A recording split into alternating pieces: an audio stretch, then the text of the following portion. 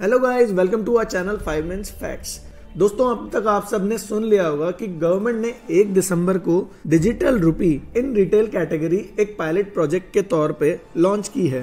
As per sources RBI ने 1.71 crore digital rupees इस pilot project में रखा है।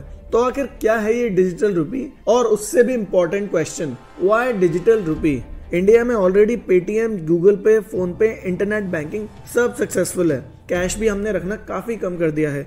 Then why digital rupees making niche in a financial system क्या ये क्रिप्टो करेंसी है? और क्या क्या प्रोज कौन से हैं इस डिजिटल रूपी के? आइए सब डिटेल में जानते हैं in your channel five minutes facts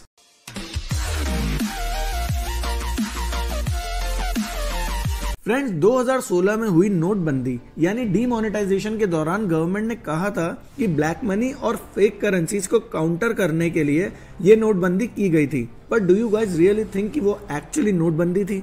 पुराने 500 और हज़ार के नोट्स चेंज होकर नए 500 और 2000 के नोट्स मार्केट में आ गए थे। तो क्या उसे नोट बदली बोलना ज़्यादा अप्रोप्रिएट होगा? क्योंकि अब जो गवर्नमेंट करने जा रही है, जिसमें आरबीआई एक्चुअली नोट्स प्रिंट बंद करने जा रही है उसे नोटबंदी 2.0 कहा जा सकता है। And here we are talking about physical cash और यही तो सिग्निफाई करता है नोटबंदी वर्ड को।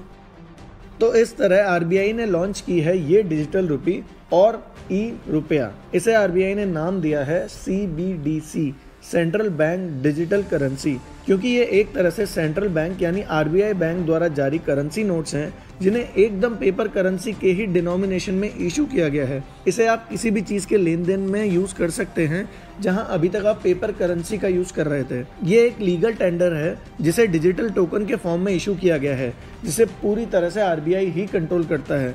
यहाँ डिजिटल टोकन का मतलब है, जिस तरह आप सौ रुपये का नोट अगर किसी को देते हैं तो वो इस इंसान का हो जाता है। उसी तरीके से अगर आप सौ रुपये डिजिटली किसी को ट्रांसफ़र करते हैं तो वो टोकन उस इंसान के पास चला जाता है just like a paper currency और लीगल टेंडर से मतलब है कि उसे कोई भी लेने से मना नहीं कर सकता है। दोस्तों, ये एक पायलट प्रोजेक्ट है। पायलट प्रोजेक्ट का मतलब अभी कुछ ही सिटीज़ में और कुछ ही बैंक्स के साथ इसे टेस्ट किया जा रहा है, ताकि अगर इसमें जो भी इम्प्रोवाइजेशन की ज़रूरत हो तो पूरे देश में लॉन्च करने से पहले वो इम्प्रोवाइजेशन टाइम पे किए जा सके। ये सिटीज़ है मुंबई न्यू दिल्ली बेंगलुरु और भुवनेश्वर। और ये बैंक्स हैं S B I ICICI yes bank और आईडीएफसी फ़र्स्ट बैंक। जल्द ही ये ई रुपया अहमदाबाद, गैंगटॉक, गुवाहाटी, हैदराबाद, इंदौर, कोची, लखनऊ, पटना और शिमला में लॉन्च किया जाएगा।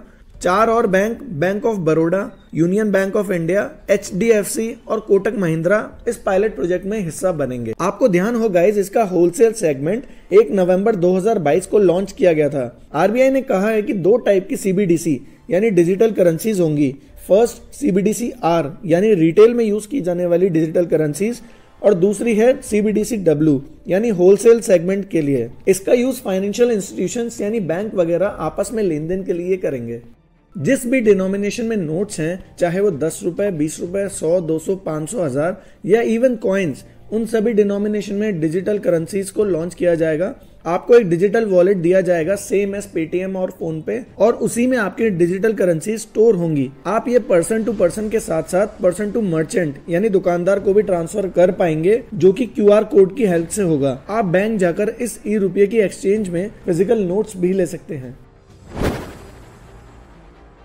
गाइस जिस तरह क्रिप्टो करेंसी एक ब्लॉकचेन टेक्नोलॉजी यूज़ करता है, वैसे ही डिजिटल रुपी में भी ब्लॉकचेन का ही यूज़ किया गया है। पर क्रिप्टो करेंसी पूरी तरह से प्राइवेट होती है, इसे कोई मॉनिटर नहीं करता, ना ही कोई गवर्नमेंट या कोई बैंक इसे बैक करता है, जैसा कि बिटकॉइन इथीरियम के केस में होता है। बट डिजिटल रुपी को आरबीआई ही रेगुलेट करता है और गवर्नमेंट की इसमें इन्वॉल्वमेंट होती है। पर यहाँ समझने वाली बात यह है कि डिजिटल रूपी में आपके सभी ट्रांजैक्शन एनक्रिप्टेड होते हैं। ये वर्ड आपने कभी व्हाट्सएप की चैट में ज़रूर पढ़ा होगा। इसका मतलब है कि आपके ट्रांजेक्शन के बारे में या तो आपको पता है या आरबीआई बैंक को। इनफैक्ट वो बैंक भी आपके ट्रांजेक्शन के बारे में नहीं जान पाएगा, जिसने आपका अकाउंट ओपन किया है।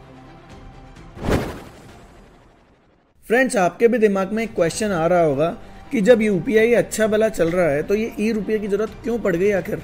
यूपीआई से भी तो हम डिजिटली पैसा ट्रांसफ़र ही करते हैं। जी हाँ दोस्तों, आप यूपीआई से पैसा डिजिटली ट्रांसफ़र तो करते हैं, मगर ये डिजिटल मनी नहीं है, क्योंकि पेटीएम या फ़ोन पे में जब भी आप ट्रांजैक्शन करते हैं तो आपके बैंक अकाउंट से वो पैसा कटता है, और आपके बैंक अकाउंट में जो पैसा होता है, वो आरबीआई की लाइबिलिटी होती है, उतना ही पैसा फिजिकली रखना, यानी उतना ही पैसा आरबीआई को प्रिंट करना होता है।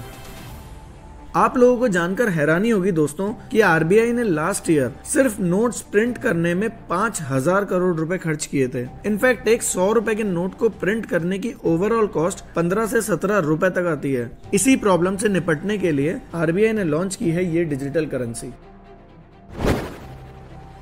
दोस्तों डिजिटल करेंसीज के बेनिफिट्स की बात करें तो पहला बेनिफिट है प्रिंटिंग कॉस्ट जिसकी बात हमने जस्ट अभी की है।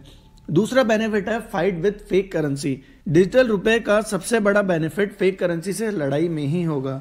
तीसरा बेनिफिट है सेफ्टी एंड ट्रांसपेरेंसी अब आपका हर ट्रांजैक्शन गवर्नमेंट की नज़र में होगा, जिससे अकाउंट्स की सेफ्टी पूरी रहेगी in case of any illegal transaction और साथ ही गवर्नमेंट को टैक्स कलेक्शन में भी कोई प्रॉब्लम नहीं आने वाली। चौथा पॉइंट है नो फिजिकली डैमेज और लॉस्ट और थेफ्ट डिजिटल रुपया ना तो फट सकता है, ना ही कहीं खो सकता है। यानी इस करेंसी की लाइफ टाइम इनफाइनाइट है as compare to physical currency जिसकी लाइफ टाइम लगभग तीन से चार साल होती है।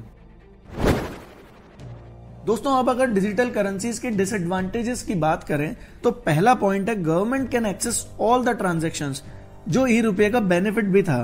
अब आप किसी भी तरीके से अपने ट्रांजेक्शन को गवर्नमेंट से प्राइवेट नहीं रख सकते, जो कि कैश के केस में होता है। दूसरा पॉइंट है no interest on digital rupees साथ ही ई रुपये पर कोई भी इंटरेस्ट नहीं मिलेगा। आरबीआई ने बताया कि अगर इस पर इंटरेस्ट मिलने लग जाएगा तो लोग अपने सेविंग अकाउंट से पैसे निकालकर उसे डिजिटल करेंसी में कन्वर्ट करना स्टार्ट कर देंगे, जो कि एक पॉसिबिलिटी है।